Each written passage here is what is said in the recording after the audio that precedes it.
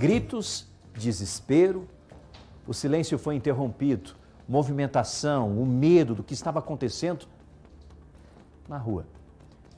Infelizmente era um homicídio. Testemunhas contaram que depois das agressões, o grupo entrou em um carro e ainda atropelou a vítima, que estava no chão.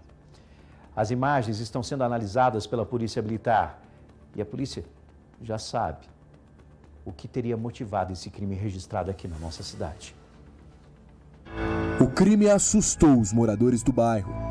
O silêncio e a tranquilidade da noite, interrompidos por gritos de socorro. Esse homem estava em casa quando percebeu que na rua algo de errado acontecia. Foi umas três ou quatro vezes gritando socorro, socorro, né? Mas depois, ó, que eu levantei, que eu fui lá, a pessoa já tinha vazado. É, nem vi a cor. Aí eu, chegou o policial, né? Foi lá, puxou na, na cama do outro vizinho, né? Que viu que identificou qualquer a cor do carro, tudo. Mas já tá dando andamento, tá tudo ok. O senhor saiu na rua, que cena que o senhor viu? Já vi com a cara atolada no asfalto.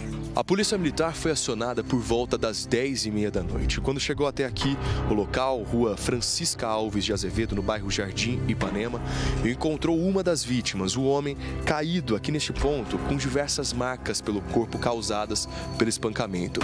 Logo que os militares iniciaram o atendimento, eles constataram que a vítima já não apresentava mais sinais vitais e a morte foi constatada ainda aqui no local.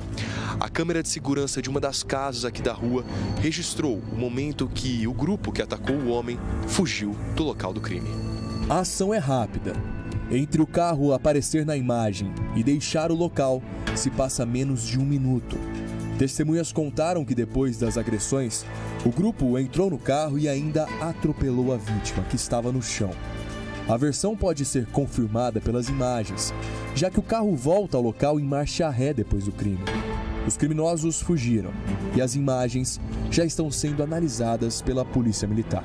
O primeiro acionamento por volta de 22 e 30, dando conta que um grupo de pessoas tinha agredido uma outra pessoa ali próxima à cerca do aeroporto. Cerca de meia hora depois, nova chamada dando conta que uma pessoa gravemente ferida, possivelmente em óbito nesse local. As equipes foram fazer a, a verificação, chegando lá realmente confirmou que havia uma pessoa é, em óbito, é, com várias lesões aí, certamente provocada por objetos contundentes, e que uma outra pessoa, vítima das agressões, também teria sobrevivido e fugido, se escondido ali é, dentro do aeroporto e depois sido, pediu socorro e foi encaminhada para o ITBR.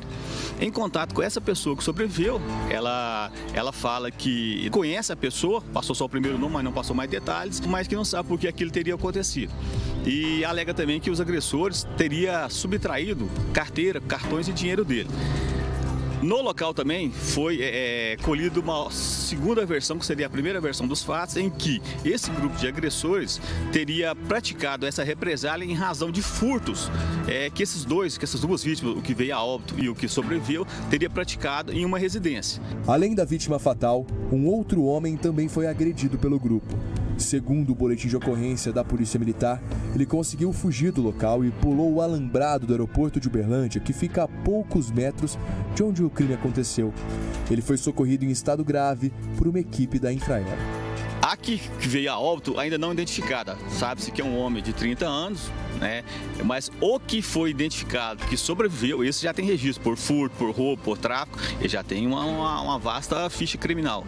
O boletim de ocorrência foi registrado como latrocínio, mas a Polícia Militar trabalha com a hipótese de que o crime tenha sido motivado por um acerto de contas. Testemunhas contaram aos militares que, durante a confusão, ouviram dos agressores que a dupla teria cometido crimes na região.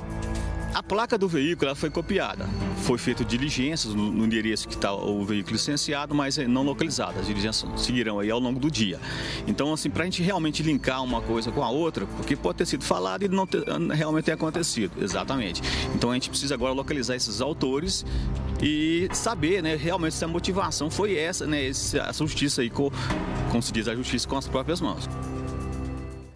Tá aí o trabalho que segue por parte da polícia. Infelizmente, mais uma morte violenta na nossa cidade. A forma com que aconteceu assusta demais, né?